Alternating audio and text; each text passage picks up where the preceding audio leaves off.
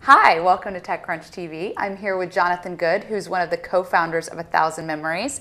You guys are announcing some exciting news. You've raised millions and millions of dollars, is that right? It is right. Tell us how much and who. Uh, so we've raised a $3 million Series A round Mm-hmm. led by Greylock Partners. And so we're really excited about them and their social media expertise, and then a stellar list of angels who are also excited to be involved with us. So um, we've covered you guys in the past. You were a Y Combinator company, um, you know, basically there to create um, in in perpetuity very classy, well-designed memorials for people who've passed away. Um, tell us a little bit about how the site has sort of changed from those early days to to now the point where you're getting grown-up venture capital.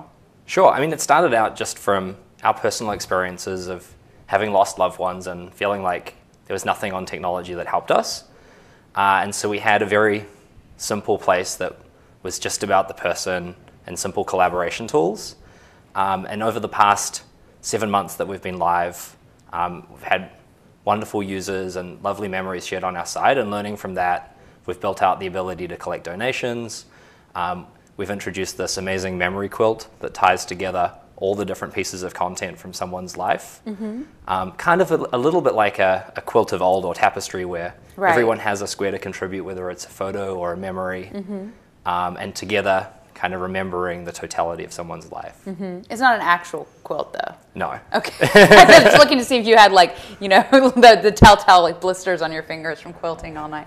Um, but you know, I understand going forward. I mean, one of the things that's great about your site, I should say, first of all, is it's not cluttered with a lot of ads. You're not charging for the service, which are two of the things that make people love it so much. But you know, here you are raising venture capital and you're a business. So, I mean, I understand down the line it, you're looking more at like premium services, things like you know, either producing like hardcover books of loved ones or maybe even real quilts one day. Yeah, it's actually a good idea. Um, yeah, and I mean, the great part about the funding is that it allows us to continue focusing on making a really great experience for our customers um, and being able to continue to offer a really great service for free. I mean, we want to be the place where everyone's remembered, and so we always want to be able to provide a free service to support that. Um, and we don't want to have the kind of horrible advertising or tacky extortionate emails that, that others in the space have used. We want it to truly be someone's place and just to be about remembering. Is that one of the reasons you think so many competitors have failed in this area? I mean, frequently when we've had launches, and I don't know if it was just a matter of time, like a lot of things on the internet, but um, a lot of other entrants have been considered like really tacky or really morbid, or you know, frankly, just didn't really get critical mass. I mean, this is a hard sort of customer acquisition problem because you're not going to have people coming to the site every day unless they're really living in a war zone or have bigger problems. Yeah, I mean, I think it's it's both about design and we're as much a design company as we are a tech company, and we really, from the full bleed photo that everyone has, that's just their place, um, throughout the site, we're very focused on design, uh, and we were nominated for the Crunchie for Best Design as a result of that. So I think there's that part that really sets us apart. Um, there's also a focus on collaboration. So many people have just taken an old obituary where one person wrote something short and put that on the internet.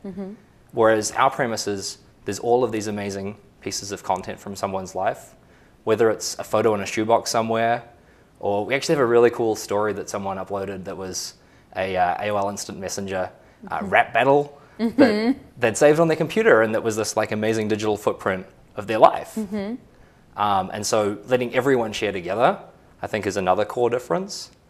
Um, yeah, I mean, I think the third part that you mentioned is timing.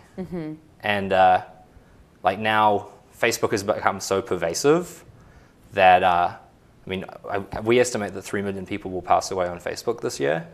Wow, that's a really sort of stunning a number. grisly statistic.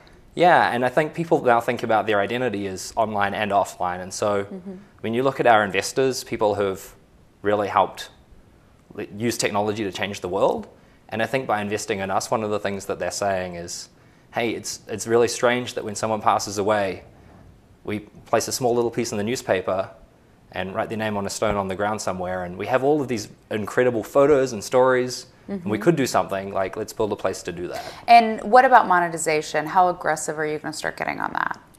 I mean, that's not that's not kind of front and center for us. We're really focused on um, helping people use this. It's such a, a new thing that hasn't existed before, um, and getting people used to our site, helping them see what's possible online, I think is really key. And the luxury of having millions of dollars in the bank is that we can really focus on building a great customer experience. This seems like one of those companies where there's a clear reason it should exist, but building it into a big business seems like it's going to take a lot of time.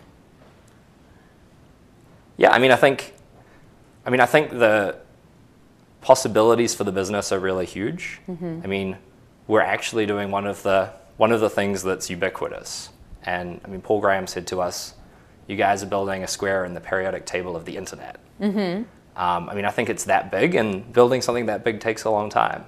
Um, but it's also amazing. I mean, we're we're collecting an inordinate amount of world history and and helping people through uh, some of the most difficult moments in their lives.